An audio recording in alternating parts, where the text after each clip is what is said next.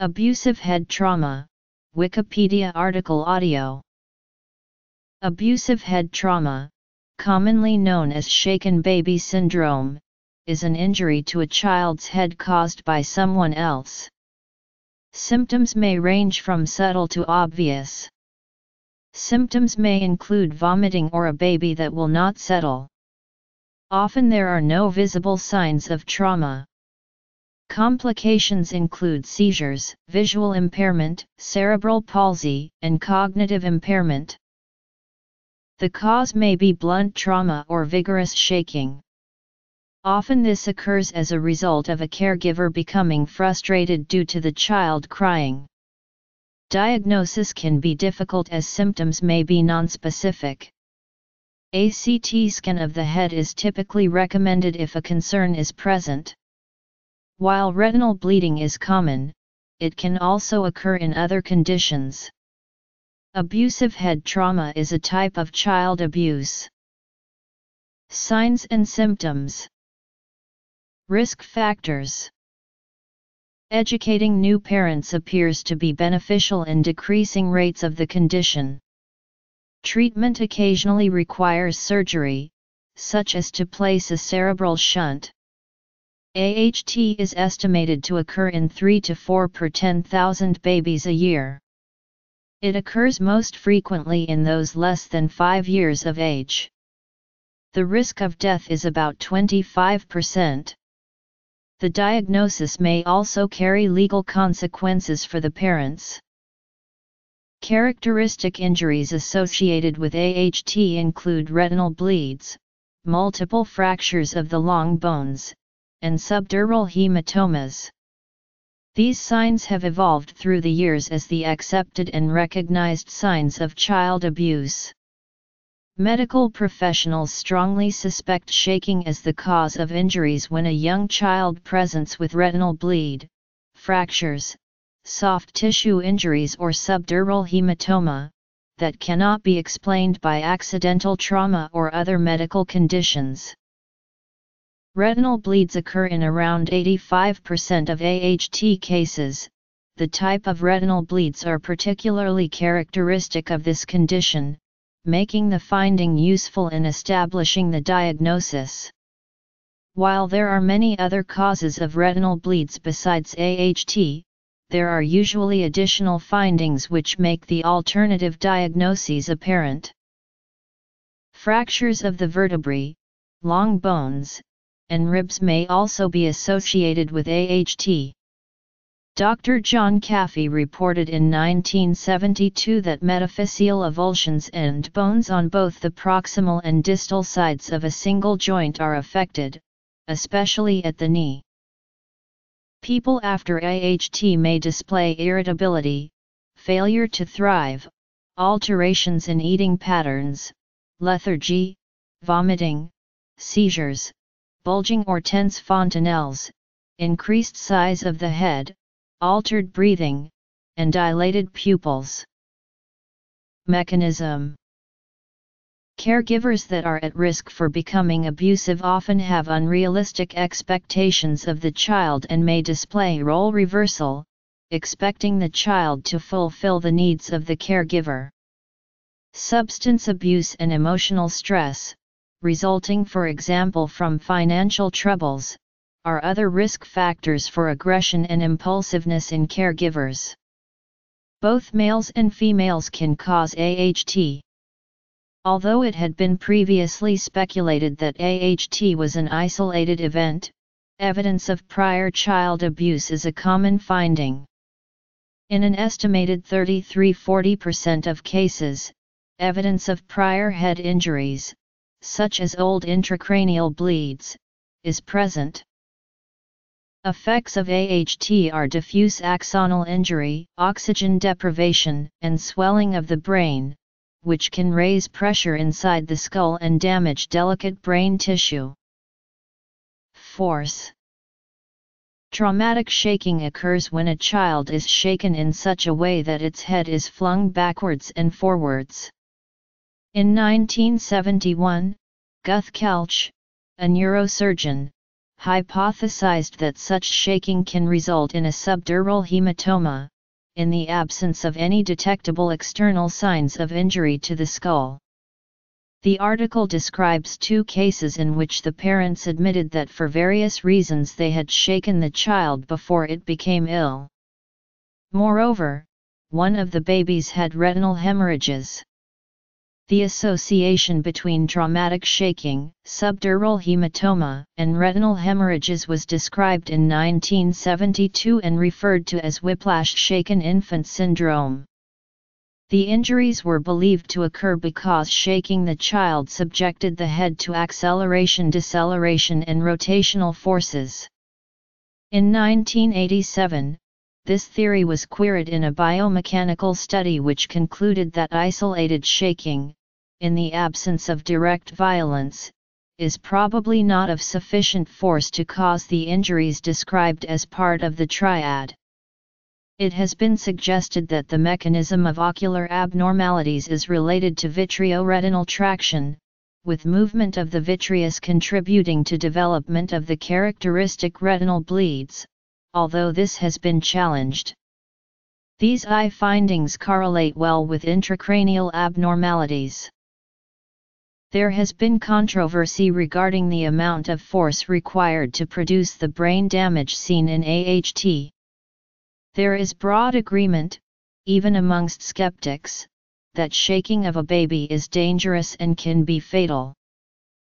A biomechanical analysis published in 2005 reported that forceful shaking can severely injure or kill an infant, this is because the cervical spine would be severely injured and not because subdural hematomas would be caused by high head rotational accelerations.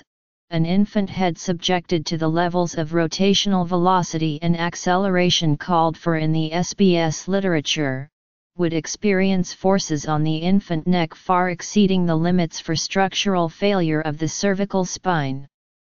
Furthermore, shaking cervical spine injury can occur at much lower levels of head velocity and acceleration than those reported for SBS. Other authors were critical of the mathematical analysis by Bandak, citing concerns about the calculations the author used concluding in light of the numerical errors in Bandak's neck force estimations, we question the resolute tenor of Bandak's conclusions that neck injuries would occur in all shaking events. Other authors critical of the model proposed by Bandak concluding the mechanical analog proposed in the paper may not be entirely appropriate when used to model the motion of the head and neck of infants when a baby is shaken. Bandak responded to the criticism in a letter to the editor published in Forensic Science International in February 2006. Diagnosis Diagnosis can be difficult as symptoms may be nonspecific. A CT scan of the head is typically recommended if a concern is present. While retinal bleeding is common, it can also occur in other conditions. Triad A skull fracture from abusive head trauma in an infant. Classification 3D CT reconstruction showing a skull fracture in an infant. 3D CT reconstruction showing a skull fracture in an infant. Differential diagnosis. While the findings of AHT are complex and many, they are often referred to as a triad. SBS may be misdiagnosed, underdiagnosed, and overdiagnosed, and caregivers may lie or be unaware of the mechanism of injury. Commonly, there are no externally visible signs of the condition. Examination by an experienced ophthalmologist is often critical in diagnosing shaken baby syndrome, as particular forms of ocular bleeding are quite characteristic. Magnetic resonance imaging may also depict retinal bleeds, this may occasionally be useful if an ophthalmologist examination is delayed or unavailable. Conditions that must be ruled out include hydrocephalus, sudden infant death syndrome, seizure disorders, and infectious or congenital diseases like meningitis and metabolic disorders. CT scanning and magnetic resonance imaging are used to diagnose the condition. Conditions that may accompany SBS include bone fractures, injury to the cervical spine, retinal bleeding, cerebral bleed or atrophy, hydrocephalus, and papilledema. The terms non-accidental head injury or inflicted traumatic brain injury have been suggested instead of SBS.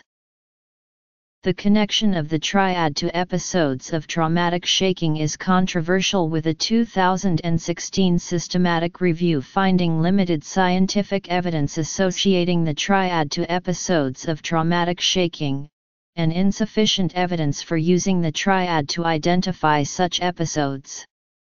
The connection is controversial in part following cases where parents of children exhibiting the triad have, in addition to losing custody, been jailed or sentenced to death.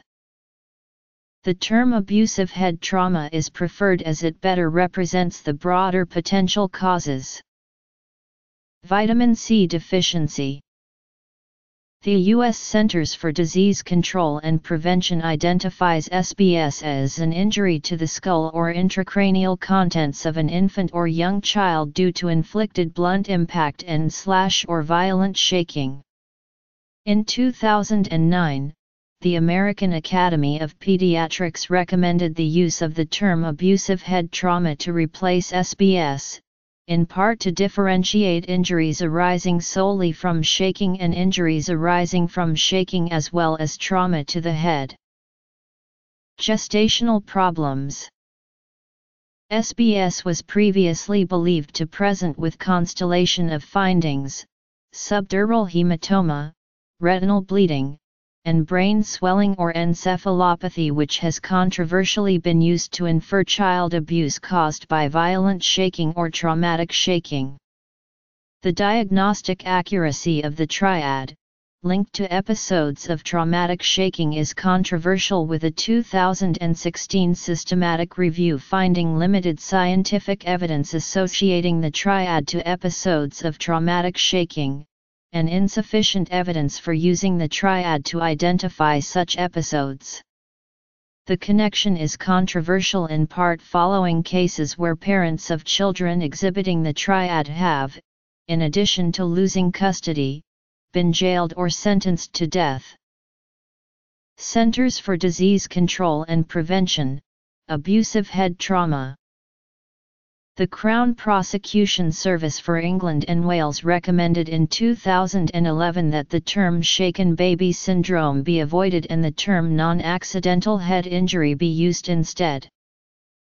Some authors have suggested that certain cases of suspected shaken baby syndrome may result from vitamin C deficiency. This contested hypothesis is based upon a speculated marginal, near scorbutic condition or lack of essential nutrient repletion and a potential elevated histamine level.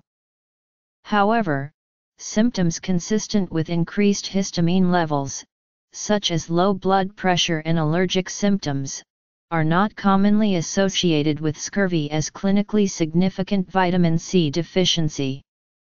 A literature review of this hypothesis in the journal Pediatrics International concluded the following from the available information in the literature, concluded that there was no convincing evidence to conclude that vitamin C deficiency can be considered to be a cause of shaken baby syndrome. The proponents of such hypotheses often question the adequacy of nutrient tissue levels, especially vitamin C, for those children currently or recently ill, bacterial infections, those with higher individual requirements, those suffering from environmental challenges, and perhaps transient vaccination related stresses. At the time of this writing, infantile scurvy in the United States is practically non existent. No cases of scurvy mimicking SBS or sudden infant death syndrome have been reported, and scurvy typically occurs later in infancy, rarely causes death or intracranial bleeding, and is accompanied by other changes of the bones and skin and invariably an unusually deficient dietary history. Prevention Treatment Prognosis Epidemiology In one study vaccination was shown not associated with retinal hemorrhages. Gestational problems affecting both mother and fetus, the birthing process, prematurity, and nutritional deficits can accelerate skeletal and hemorrhagic pathologies that can also mimic SBS, even before birth. Interventions by neonatal nurses including giving parents information about abusive head trauma, normal infant crying and reasons for crying, teaching how to calm an infant, and how to cope if the infant was inconsolable may reduce rates of AHT. Treatment involves monitoring intracranial pressure, draining fluid from the cerebral ventricles, and, if an intracranial hematoma is present, draining the blood collection. Prognosis depends on severity and can range from total recovery to severe disability to death when the injury is severe.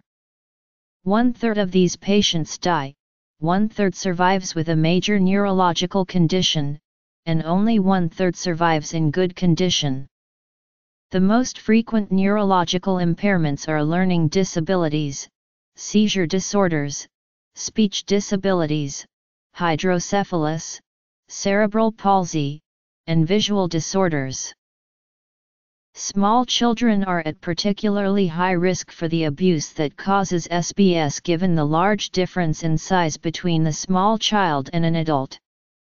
SBS usually occurs in children under the age of 2 but may occur in those up to age 5. In 1971, Norman Guthkelch proposed that whiplash injury caused subdural bleeding in infants by tearing the veins in the subdural space. The term whiplash shaken infant syndrome was introduced by Dr. John Caffey, a pediatric radiologist, in 1973, describing a set of symptoms found with little or no external evidence of head trauma, including retinal bleeds and intracranial bleeds with subdural or subarachnoid bleeding or both. Development of computed tomography and magnetic resonance imaging techniques in the 1970s and 1980s advanced the ability to diagnose the syndrome. History the President's Council of Advisors on Science and Technology noted in its September 2016 report that there are concerns regarding the scientific validity of forensic evidence of abusive head trauma that require urgent attention. In July 2005, the Court of Appeals in the United Kingdom heard four appeals of SBS convictions, one case was dropped, the sentence was reduced for one, and two convictions were upheld. The court found that the classic triad of retinal bleeding, subdural hematoma, and acute encephalopathy are not 100% diagnostic of SBS and that clinical history is also important. In the court's ruling, they upheld the clinical concept of SBS but dismissed one case and reduced another from murder to manslaughter. In their words, whilst a strong pointer to NAHI on its own we do not think it possible to find that it must automatically and necessarily lead to a diagnosis of NAHI. All the circumstances, including the clinical picture, must be taken into account. The court invalidated the unified hypothesis, proposed by British physician J. F. Geddes and colleagues, as an alternative mechanism for the subdural and retinal bleeding found in suspected cases of SBS. The unified hypothesis proposed that the bleeding was not caused by shearing of subdural and retinal veins but rather by cerebral hypoxia, increased intracranial pressure, and increased pressure in the brain's blood vessels. The court reported that the unified hypothesis no longer be regarded as a credible or alternative cause of the triad of injuries, subdural hemorrhage, retinal bleeding, and encephalopathy due to hypoxemia found in suspected SBS. Legal issues On January 31, 2008, the Wisconsin Court of Appeals granted Audrey A. Edmonds a new trial based on competing credible medical opinions in determining whether there is a reasonable doubt as to Edmonds's guilt. Specifically, the appeals court found that Edmonds presented evidence that was not discovered until after her conviction, in the form of expert medical testimony, that a significant and legitimate debate in the medical community has developed in the past 10 years over whether infants can be fatally injured through shaking alone, whether an infant may suffer head trauma and yet experience a significant lucid interval prior to death, and whether other causes may mimic the symptoms traditionally. Viewed as indicating shaken baby or shaken impact syndrome. In 2012, A. Norman Guthkelch, the neurosurgeon often credited with discovering the diagnosis of SBS, published an article after 40 years of consideration, which is harshly critical of shaken baby prosecutions based solely on the triad of injuries. Again, in 2012, Dr. Guthkelch stated in an interview, I think we need to go back to the drawing board and make a more thorough assessment of these fatal cases, and I am going to bet, that we are going to find in every, or at least the large majority of cases, the child had another severe illness of some sort which was missed until too late. Furthermore, in 2015, Dr. Guthkelch went so far as to say, I was against defining this thing as a syndrome in the first instance. To go on and say every time you see it, it's a crime, it became an easy way to go into jail. On the other hand, Teri Covington, who runs the National Center for Child Death Review Policy and Practice, worries that such caution has led to a growing number of cases of child abuse in which the abuser is not punished. In March 2016, Waney Squier, a pediatric neuropathologist who has served as an expert witness in many shaken baby trials, was struck off the medical register for misconduct. Shortly after her conviction, Dr. Squier was given the Champion of Justice Award by the International Innocence Network for her efforts to free those wrongfully convicted of shaken baby syndrome. Squier denied the allegations and appealed the decision to strike her off the medical register. As her case was heard by the High Court of England and Wales in October 2016, an open letter to the British Medical Journal questioning the decision to strike off Dr. Squier, was signed by 350 doctors, scientists, and attorneys. On November 3, 2016, the court published a judgment which concluded that the determination of the MPT is in many significant respects flawed the judge found that she had committed serious professional misconduct but was not dishonest. She was reinstated to the medical register but is not allowed to give expert evidence in court for three years.